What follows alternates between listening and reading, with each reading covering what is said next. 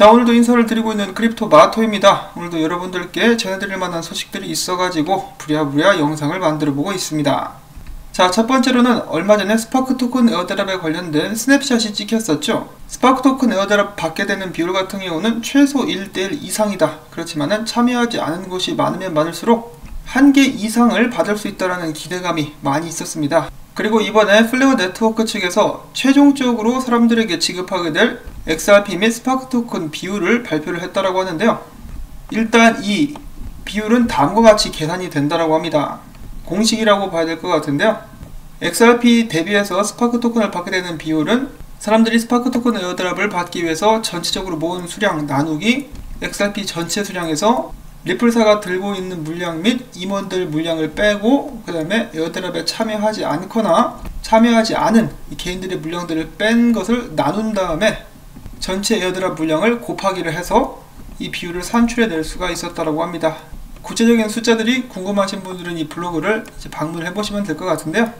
그래서 결론은 무엇이냐? 이번에 airdrop snapshot에 참여한 사람들은 그들이 들고 있는 한 개의 XRP당 1.0073개의 스파크 토큰 airdrop을 받을 수 있게 될 것이라고 합니다. 그래서 여러분들께서 신청하신 XRP 숫자에 1.0073을 곱하시면은 여러분들께서 총 획득하실 수 있는 스파크 토큰 수량이 정해진다는 것이겠죠.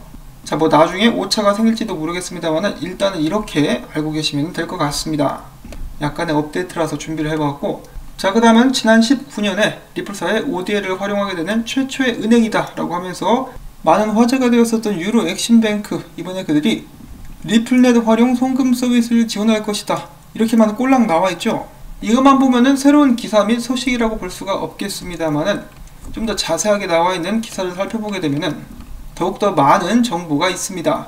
자 기사 제목은 이런데 유로 엑신뱅크는 XRP 기반의 플랫폼인 Simple X를 개발하고 있다.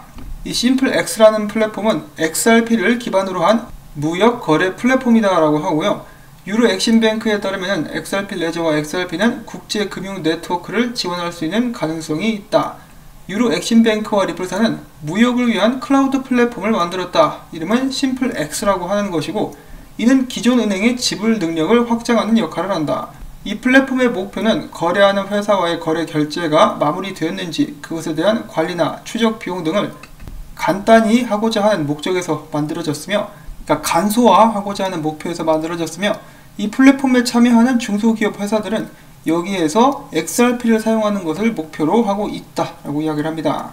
이를 통해서 유로 엑신뱅크와 리플사는 무역의 복잡한 과정을 간소화하는 데 초점을 맞추고 있는데 또한 이 플랫폼을 통해서 Simple X를 통해서 기존의 무역 금융의 tool인 letters of credit, standby letters of credit, performance 등등을 관리하는 데 활용될 수도 있다라고 이야기를 하고 있습니다.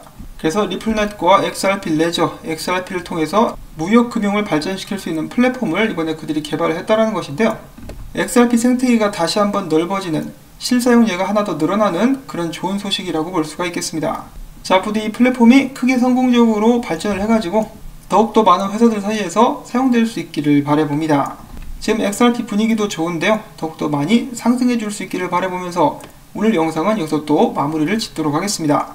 오늘도 마찬가지로 토마토 밭에 날로 틀어주기 여러분들께 부탁을 드리면서 저는 다음에 새로운 소식 가지고 인사를 드릴게요. 행복한 주말 되시기를 바랍니다.